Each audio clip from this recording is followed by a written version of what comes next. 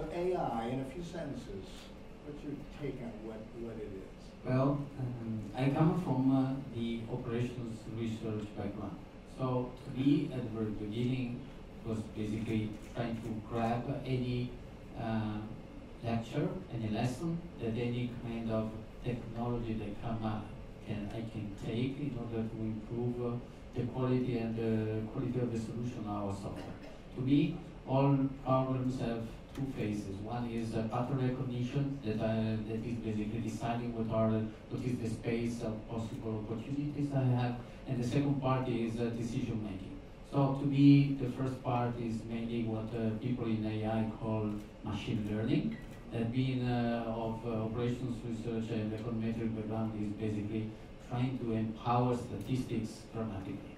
And the second part is optimization, is decision making, uh, either in a deterministic but very complex environment uh, or a stochastic but uh, mm, and therefore probabilistic environment. But at the end of the day, it's all decision making. So in the platform that uh, we they just uh, presented, it's basically everywhere. Everywhere you have uh, to model a certain situation, and everywhere you have to pick the right decision given the, the scenario that you have.